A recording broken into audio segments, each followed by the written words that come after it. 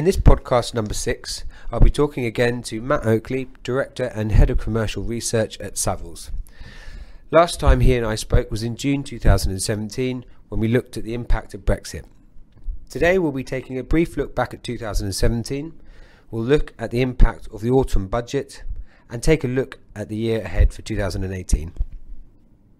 Savills provide advice and analysis to clients in all sectors of the property market but Matt's focus is on commercial real estate. With 30 years of experience, we're fortunate to be speaking to him again. Matt, good to see you, and thanks very much for joining us today. It's a great pleasure, Paul. Thanks, Matt. When we spoke last June, there was a feeling that non res ultra high net worth individuals were almost ring fenced from the effect of Brexit, since they still viewed the UK as a safe, safe in inverted commas, place to invest their money. And what I mean by safe is you get the red line around your property, and there's a government backed guarantee at the land registry for that. Um, plus, there are still good yields to be gained. However, in Philip Hammond's budget just over a month ago, we saw changes to the UK property market, particularly taxation. Now, non UK resident funds, companies, and individuals investing in commercial property in the UK will have to pay tax on gains on increases in value from the 1st of April 2019.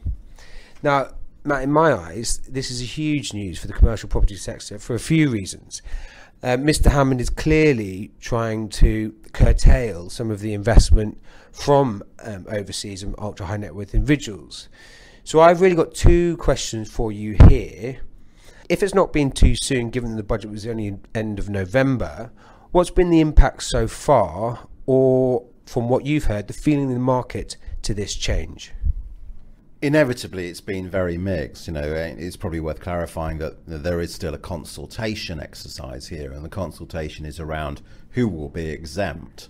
Because the the idea of Mr. Hammond is is for it to be a level playing field for non-domestic investors to be treated the same as domestic. Say, for example, domestic REITs don't have the same CGT liabilities as domestic institutions. So it would be maybe unfair to apply this to uh, foreign REITs. He said in the statement, sort of in the papers, that you know foreign pension funds were definitely going to be excluded from this, and I think there's going to be a lot of lobbying over the next five or six months for other, from other groups who should say, well, we should be exempt from this. The client response again has been mixed. I think some have definitely used it as a reason to sort of chip pricing, a handful that is.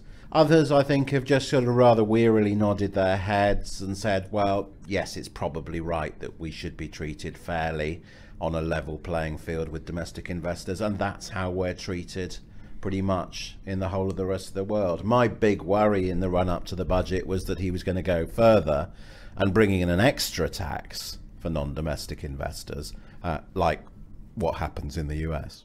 One thing I want to pick up on what you were talking about there was the REITs. How do you think this will affect the market moving forward? Do you think we'll see restructuring in new trends, or what do you think the impact will be? I think someone will be disadvantaged. You know, some group of investors, and if I was a betting man, I would say it would be the non domestic private investor they're not going to be exempted from this. This is an extra tax they will have to pay that they haven't paid in the past. That has to affect perhaps not necessarily their desire to invest in the UK, but the price they're prepared to pay. So I think in the back of their mind, they're going to have this view that when I come to sell it, I'm not going to make quite as much money, therefore maybe I shouldn't pay so much. So I think it will affect pricing.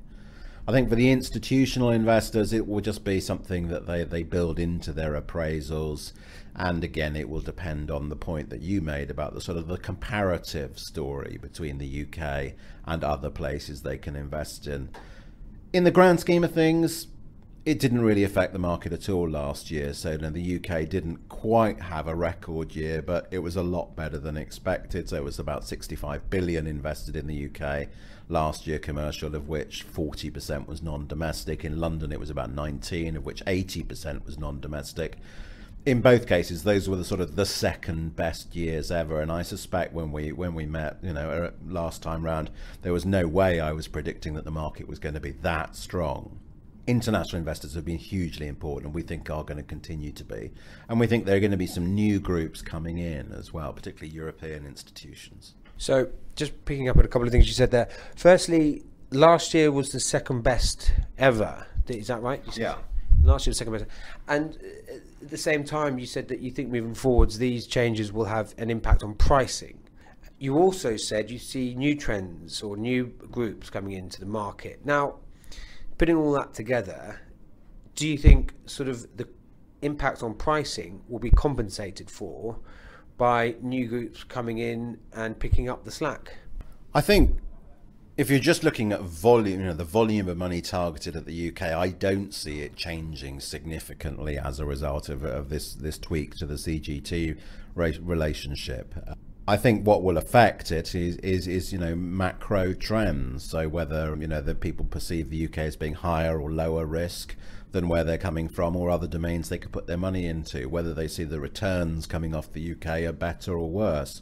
But I do think you know the last year was maybe characterised by some vendors, generally British, perhaps seeing some non domestic groups as the sort of goose that laid the golden egg. There was this perception that you could sell anything to ultra high net worths from Hong Kong.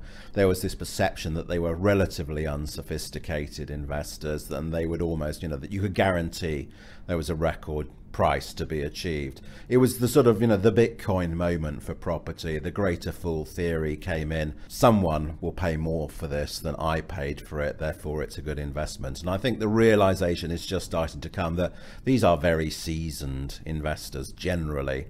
They do have a ceiling to pricing and they do have an attitude to risk and you know they're probably not going to go any higher in terms of prices in some markets. So I think some vendors this year greedier vendors will be disappointed. Right, interesting.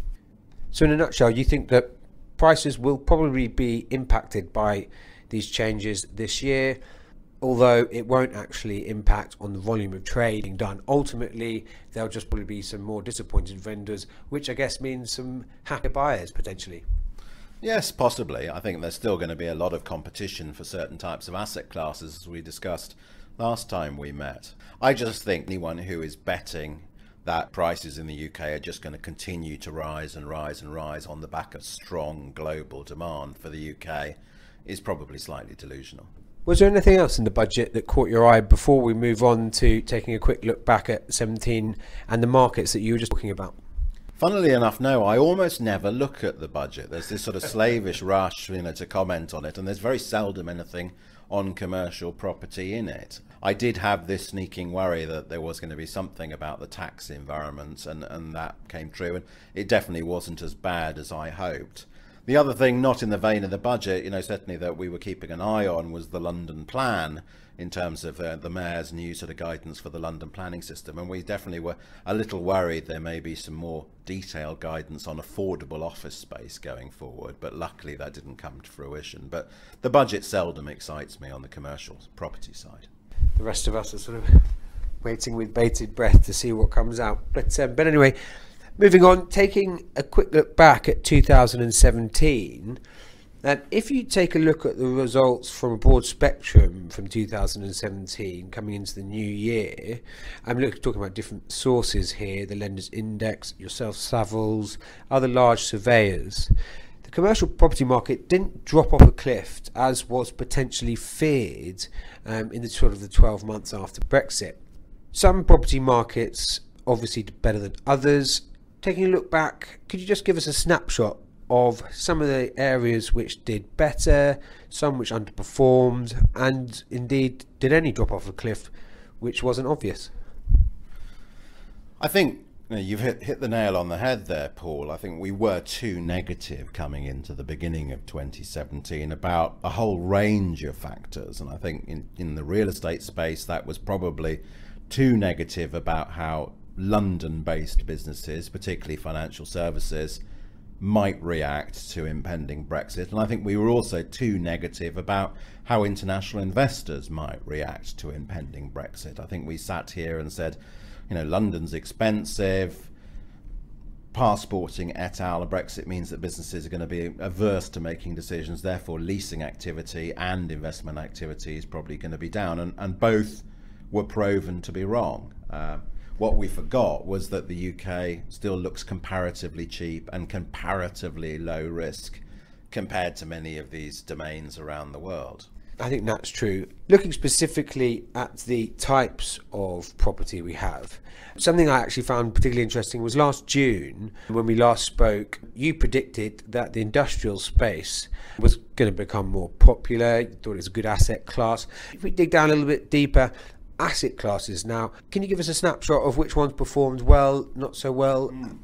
Sure. Offices did decline in popularity. So if you look at sort of where investors were putting their money prior to the referendum and post it, um, offices have definitely decreased in popularity. And I think that was a reflection of people over panicking about London. And I think with leasing activity actually very strong last year, that's probably a non story. One of the surprises, the biggest surprises, was on the retail side. And one of the segments that we saw an increase in investor activity was just, a high street shop market. And it's difficult to explain because generally institutional investors still seem to hate retail.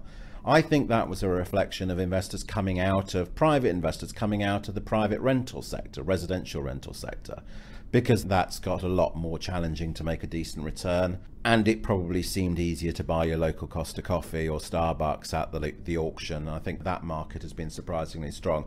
The one that hasn't been a surprise at all is industrial, seen as safe, secure, and has been incredibly popular as an asset class. However, the occupational story last year wasn't as strong as the year before. The year before, 2016, we saw record levels of occupational demand in, in the industrial sector. Last year was just average. The supply story isn't quite as persuasive. So I think while institutional investors and private investors are really into industrial, it may not be the ubiquitous buy that it was 12 months ago. Great. That's that was fascinating. I and I particularly like the fact that the industrial space did well, and that's what you you sort of read the tea leaves for. And on that note, looking forward to 2018, we're in January. I'm seeing as you did so well with your, your comments last June, what other trends do you predict moving forward, bearing in mind what we've talked about and generally in the property market? I think all property sort of investment development decisions are going to be phrased against the background of Brexit for some years to come. And those who are pessimistic will continue to be pessimistic, however hard one tries to convince them. But I think there is an increasing realization that the process is long. There is probably a hard end date, which is the next general election, but that does give you a window to be a bit more adventurous. So, generally, I think we will see a little bit more value add investing this year than we did last year and the year before. People saying, I can maybe do a refurbishment and get it to the market and let it before Brexit hits and the world changes fundamentally. I think the bulk of investment interest is still going to be risk averse. Um, I think industrials will continue to do well, London industrials in particular, because that's what people want to buy. It's safe and secure. I think elements of the retail market, you know, prime London, prime Edinburgh, will continue to be popular. And I think you know very well let office buildings will continue to be popular, and all those lovely alternative sectors that are heavy income focused, like data centers and student housing, they'll be popular. But for me, the, the opportunities I think are, are maybe going a bit against the herd. It's being a bit opportunistic, it's being a bit value add, and it's saying against a world of, of people chasing security. I've maybe got a window to do something a bit more creative because some of that stuff is priced quite attractively. For shopping centres are a really good example. Probably had their worst ever year in terms of investment volumes in the UK last year. We've had a couple of mega mergers, obviously with Westfield and Intu, and you know, merging with with different parties. There's going to be some fallout from that. There's going to be some fallout from the American opportunity funds who own a lot of UK retail, and they just don't like retail generally, regardless of whether it's in the UK. So there'll be some more stock in the market this year. It will be priced quite affordably, I think. Um, and amongst that lot, there will be some absolute little bargains. So I think the bargain hunters will probably do well in 2018. The main message I was taking from what you just said was that risk aversion is going to play a key factor, given that we're still in this uncertain time from Brexit. And in saying that, retail has obviously been dramatically affected by inflation and consumers' habits, the rise of the internet, internet purchasing, which probably is the reason that retail is having such a, a bad time of it of late in, in investment terms. Yes, I think you know retail has been hit twice. Really, it's been hit by what you might call the cyclical change and mm. the slowing consumer economy, and it's been hit by the structural change of internet shopping. Yeah, double double whammy. Well, I found that fascinating, Matt. Thank you for sharing your thoughts with us again. You've been listening to Matt Oakley, Director and Head of Commercial Research at Savills, and me, Paul Olliff, Legal Director from law firm Ashfords, in this, my listening podcast number six. If you have any questions or comments, please comment below this or email me at p.olliff at ashfords.co.uk. Thank you for listening.